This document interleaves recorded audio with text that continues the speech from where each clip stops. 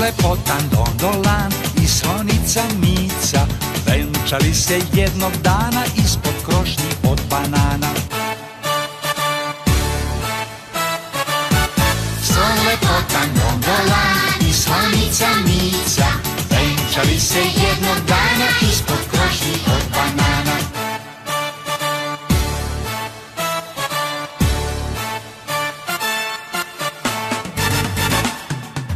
je bila ljubav stara, ometana od šumara i ostalih iz poprilično